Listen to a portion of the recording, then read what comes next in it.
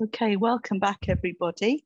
Um, I'm delighted to introduce Dr. Alison Stokes, who's Programme Lead for BSc Environmental Science and BSc Environmental Management and Sustainability at the University of Plymouth. She's also our very valued, one of our very valued chairs, vice chairs.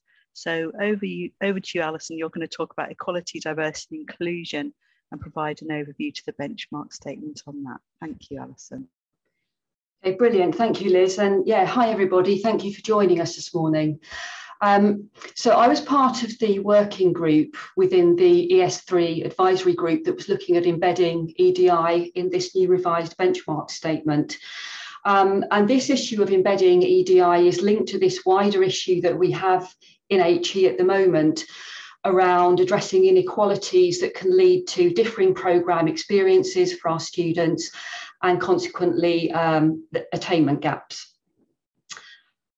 So this is significant that we're introducing EDI because if you go back and look at any of the previous versions of our ES3 subject benchmark statement, there's no mention of equality, diversion, uh, diversity and inclusivity at all in any context. So if we just pop back and look at the 2019 benchmark statement, we find that there are actually mentions of sustainability, um, specifically in relation to environmental knowledge. We find that there are some references to careers and employability um, throughout the statement, but nothing at all about EDI. So really anything was going to be um, an improvement on this. So as Sean has said, um, in this version of the benchmark statement, EDI is embedded as a key cross-cutting theme along with sustainability and employability. And we find it embedded in the four main sections of the benchmark statement. So these sections deal with context and characteristics of our programme, the distinctive features, the content structure and delivery, and finally the benchmark standards.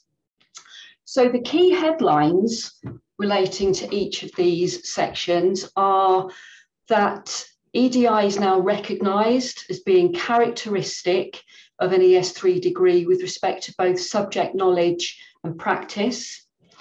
The statement recognises the challenges linked to our distinctive pedagogies, such as lab work and field work. It emphasises the need to be inclusive in all aspects of teaching, learning, and assessment, and finally, there is specific reference to EDI within our benchmark standards. So what I'm going to do in this talk is just say a little bit more about the specific EDI related content. And I'm going to show you basically some screen grabs from the benchmark statement of the text within each of the sections that, that talk about EDI. Um, it's going to be a bit of a whiz through, but hopefully it's going to give a sense of where and how it's addressed. So first of all, in terms of context and characteristics of an ES3 degree, in terms of the broad context, I mean, ultimately, what we're aiming to do within our subjects and within our programs is to cultivate graduates with knowledge, attributes to address global sustainability challenges. And so, knowledge about equality, diversity, and inclusivity, and how this then translates into professional practice, is a really critical aspect of this. So, right from the very outset, in the benchmark statement, we're given a very clear sense about how these three themes dovetail together to inform um, the ES3 programs. And then we have this section, um, which is specifically focused around equality, diversity, and inclusion. Um, and this makes a very clear statement about EDI being integral to the ES3 disciplines, both in terms of subject knowledge and our pedagogic practice.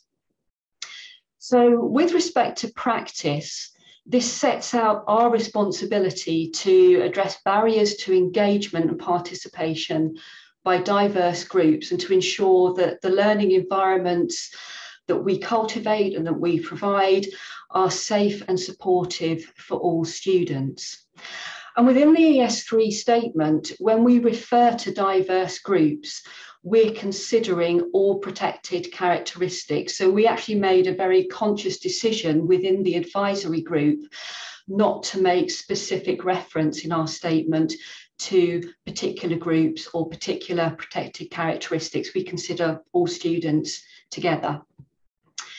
In terms of context, there are multiple ways that we can address EDI, and some of the examples given are challenging discipline identities, uh, embedding diverse representation, broadening our perspectives, and then valuing these different perspectives, maybe through a cultural lens, through ways of knowing and lived experience.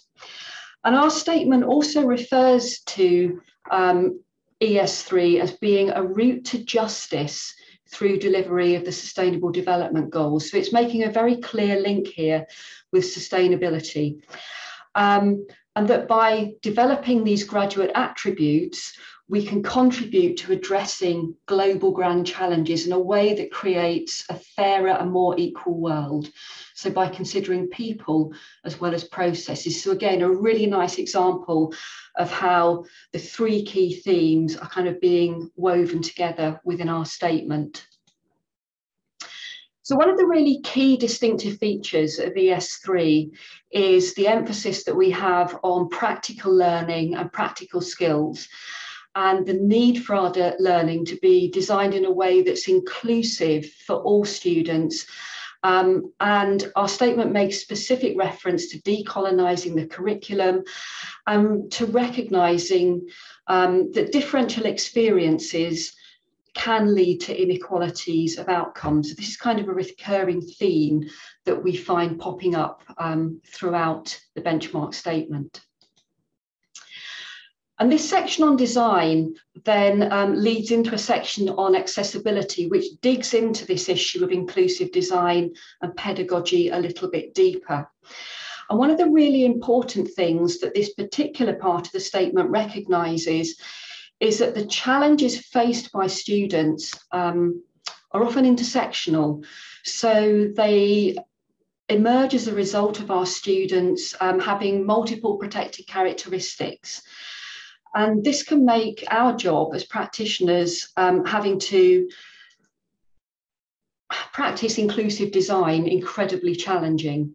So the statement emphasises that inclusivity should be part of our normal pedagogic practice, but it's also recognising that reasonable adjustments may still be needed in some circumstances, and particularly in relation to lab work and field work, where this is often where the activities that students encounter, well, these are often the activities where students are most likely to encounter barriers to participation.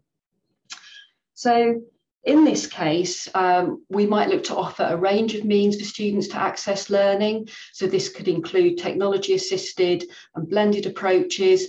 And it also specifies that we can also consider the risks faced by diverse groups through risk assessments, um, which look specifically at protected characteristics. And this is all within the broader context of considering health, safety, and well-being.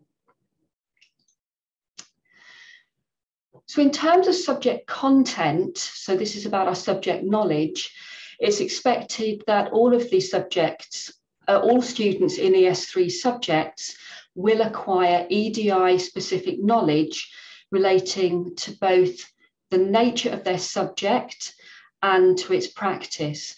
So it specifies that it's expected our students will acquire an understanding of ethical issues around legacy, uses of the discipline, engaging contemporary debates and appreciating the need for decolonisation, and then an appreciation of how this then translates into practice by recognising the importance of equality, diversity, and inclusive, inclusivity.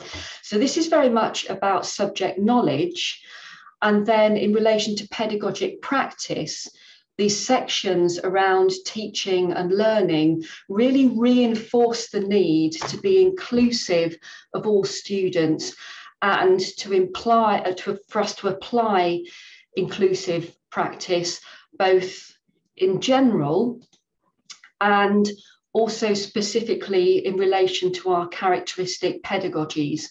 So we have this paragraph which talks specifically about fieldwork. And um, this is perhaps one of the most significant changes or the most important changes from the previous version of the benchmark statement. Because the previous benchmark statement said that it was impossible for students to develop a satisfactory understanding of ES3 without significant exposure to field-based learning and teaching and related assessment.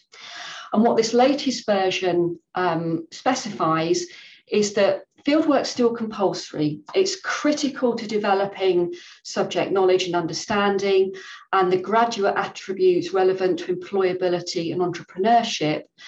But the language has been softened, so it now refers to offering all students opportunities for significant field based learning, recognising that these need to be inclusive and may still require reasonable adjustments.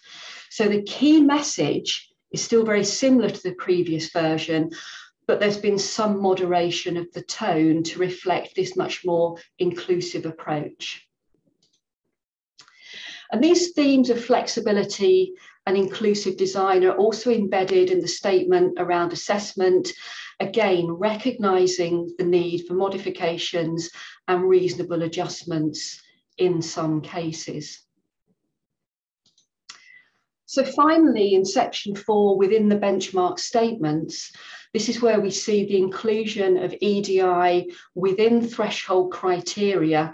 And in our benchmark statement, this is specific to personal and professional skills.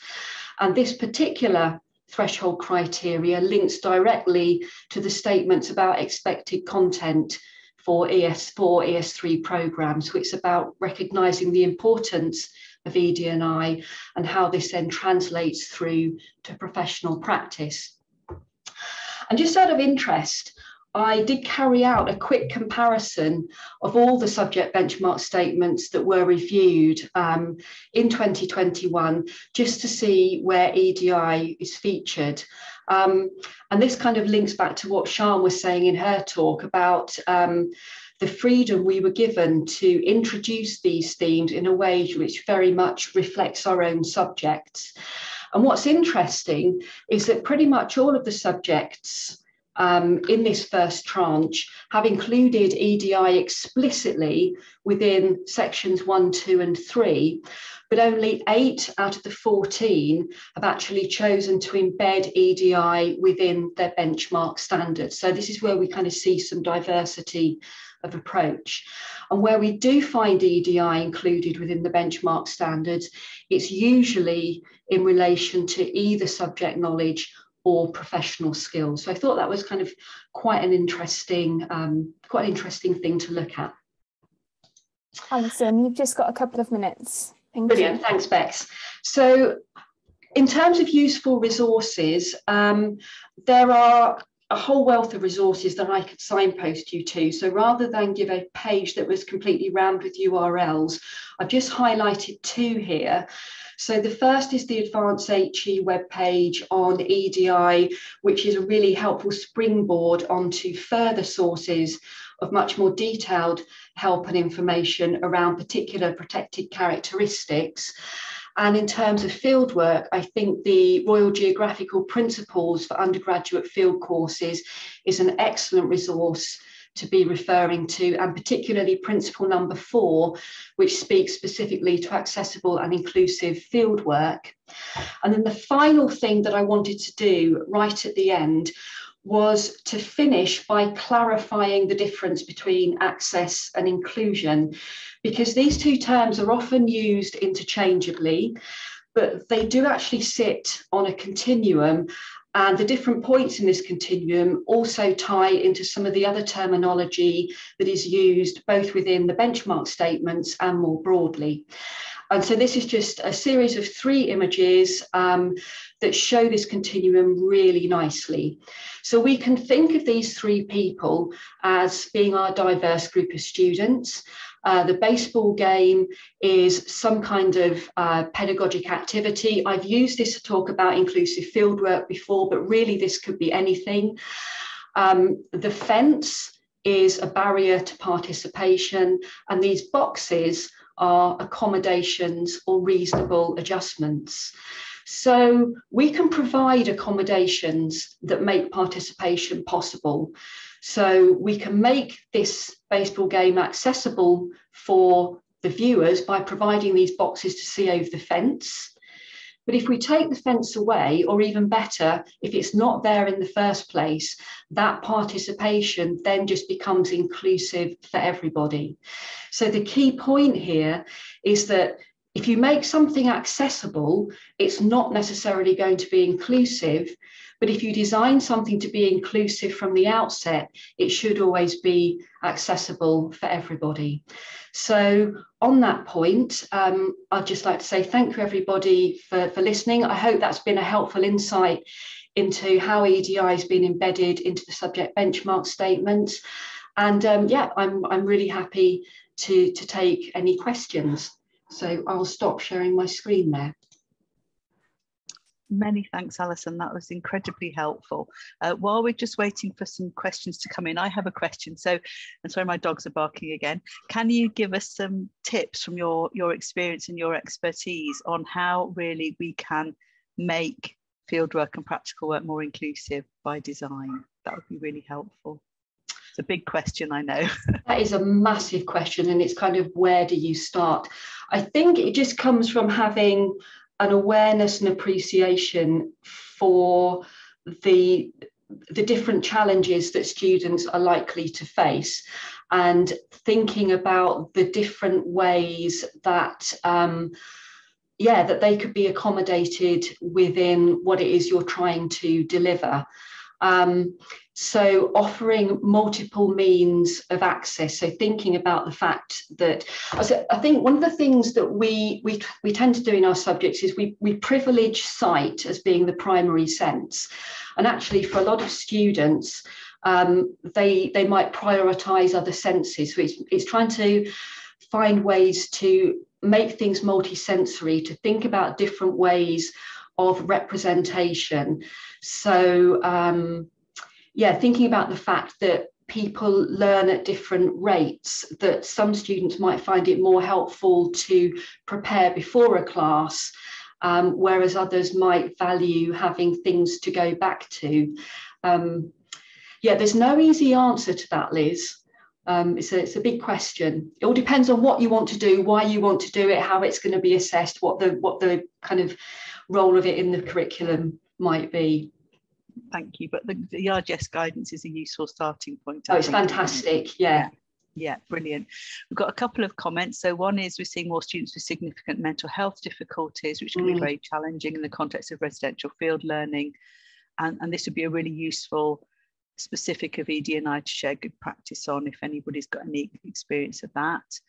And then um, finally from Sean, uh, really interesting to see how EDI maps across the four areas of the uh, subject benchmark statements in the new uh, 14 new statements. And I think that's really interesting because for us as a professional body, clearly we ask um, programs to map themselves against the, the benchmark statements. So it's really interesting how to make sure that none of the aspects are lost um, even if they're not actually in, in the statements themselves. I don't know if you've got any comments on either of those before we move yeah, on. so so just in relation to the um, mental health in residential fieldwork, um, I've actually been involved in some research into a pilot study into residential fieldwork for students with a, a whole range of, um, of different disabilities and um, protected characteristics. And uh, so that, that's in the process of being written up at the moment. But I think just in general, from my own kind of from my own practice, um, I am seeing a much greater awareness of the need to be, um, a need to recognise the impacts of mental health on students' experiences with residential fieldwork, and much more awareness among academic staff and kind of willingness to consider this in terms of risk assessment and being flexible with delivery Um, I think we are seeing change. We are seeing things start to change in really, really important ways. And hopefully these things are just going to gain momentum and they'll continue to become more and more embedded. But yeah, mental health and residential fieldwork, particularly as well in response to the pandemic, which I think has, has shone a huge spotlight onto a lot of these issues. Um, yeah, we, we're going to see some really important changes on these in the future, I think, I hope. Thanks, Alison. We have one final comment. Um, really that um, from Teresa, I also think that a key starting point is to teach to the learning outcomes, allowing students flexibility to demonstrate those they meet those learning outcomes in ways that work for them, and also thinking about cultural considerations mm. in field work.